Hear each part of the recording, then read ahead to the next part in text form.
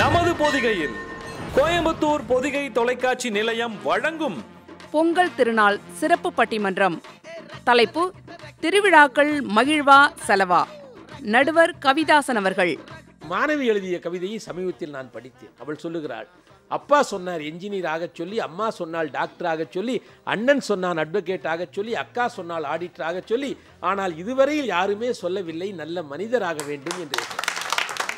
பதினான்கு ஒன்று இரண்டாயிரத்தி இருபத்தி ஒன்று வியாழக்கிழமை பிற்பகல் மூன்று மணிக்கு. காணத் தவறாதீர்கள். பொங்கல் திருநாள் சிறப்பு பட்டிமன்றம். இந்த நிகழ்ச்சியை வழங்குபவர்கள் கேபிஆர் இன்ஸ்டிடியூஷன்ஸ் கோயம்புத்தூர்.